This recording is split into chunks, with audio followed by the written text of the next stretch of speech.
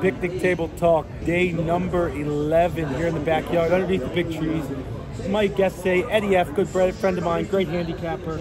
Um, a little bit of moisture possibly this afternoon. Did you, uh, did you take a look at that weather report? About three o'clock. Seems like between three and four, we're going to get some some some moisture. Uh, could continue throughout the day. You know, you got to wait and see, but I think you should plan on it. Something going to happen.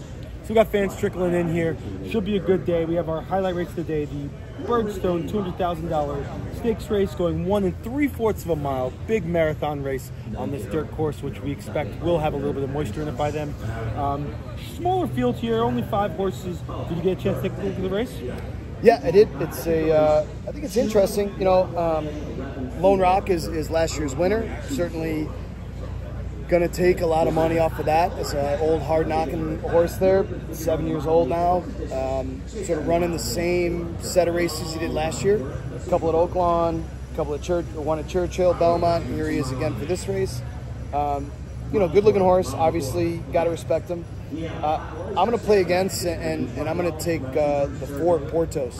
Um, a little bit younger horse, you know, not that, that necessarily means anything, uh, you know, in terms of making it any easier on him. But uh, if you look at last two races, last three races, uh, you excuse that sloppy race. Um, I like both of those. I think the horse is on an improving trend. Um, I obviously like Prat up there. He's been doing a great job. And I think this is one of those kind of races where you need the jockey to save something. Um, Flavien's been able to really get his horses to relax, ask him at the right time. Um, he stays with it. It's, it's just incredibly soft hands. Uh, the guy can give you the right ride when you need it.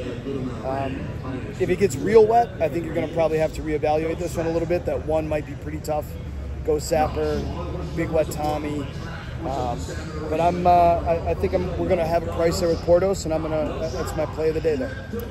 Talking about this race, we spoke to Diodoro on Saratoga Morning Report this morning, talking about Lone Rock. Lone Rock's on a little bit of a layoff here. Um, we got 47 days coming into this race, a little longer than normal, about two weeks longer. Not too much to worry about. Um, I'm actually going to stick with Lone Rock here. I'm not going to make the change. I think this horse is one of those horses that just continuously does what it does well. And one and three fourths of a mile is the distance the horse wants. Won here last time out in the Birdstone. Um, that one and a half in the Brooklyn really wasn't long enough. Um, needed a little more ground there. Finished a nice third. Um, Fearless is one interesting one here. Did you take a look at that? You know, the horse is getting the rail. Doesn't really make much difference in this type of race.